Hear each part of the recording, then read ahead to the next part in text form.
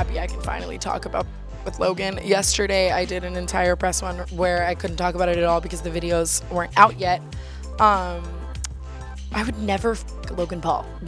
like, and the fact that everyone thought I would is so crazy. Logan and I just wanted to kind of do a little like social experiment. We wanted to see if we were photographed together out one time in like a slightly cutesy way, if it would like break the internet. If people would be mad about it what would happen? We just kind of wanted to troll i guess. Um, logan came to me with this idea. I definitely would not just wake up and be like hmm, i want to fake date logan today.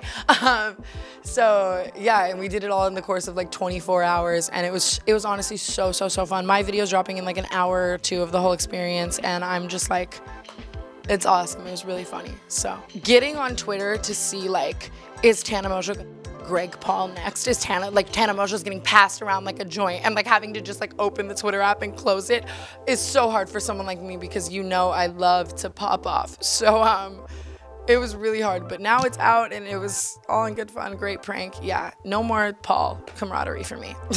Jake is a very unpredictable person, and the entire time I was very like, this could go like one of completely two ways. But I think Jake also respects like things that are all in good fun and like content and like pranks and like whatever. And I hope Jake knows I would never do anything with ill will or malice towards him or to hurt him. So yeah, I was definitely nervous to see Jake's reaction, obviously. And like the day where like we had to literally like just not say anything to anyone and pretend like it was real. The entire day I was like just waiting for an angry Jake text, but everything everything is great now. I was just hesitant in general and grossed out by it. Like the last thing I want to do is be getting like kissed on the head by my ex-husband's brother.